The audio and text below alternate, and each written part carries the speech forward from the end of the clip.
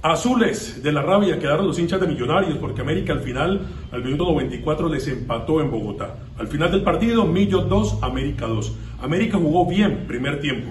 Primer tiempo para América, segundo tiempo para Millonarios. Ah, pero la historia cambió porque Bogotá dieron cinco minutos de reposición y esos cinco minutos fueron claves. Dos cambios adicionales de Guima, el equipo se entregó, jugó bastante bien, con intensidad, a todo vapor esos últimos cinco minutos y alcanzó para con un gol agónico de cabeza de chico Daniel Mosquera, que acababa de entrar dos minutos atrás, pues empatara dos por dos. ¿Eso qué dice? Que Millos pues se le ahogó la fiesta porque no clasificó todavía cuadrangulares. El conjunto capitalino quedó con 28 puntos y América ubicado en la quinta casilla, quinto puesto en la tabla con 22.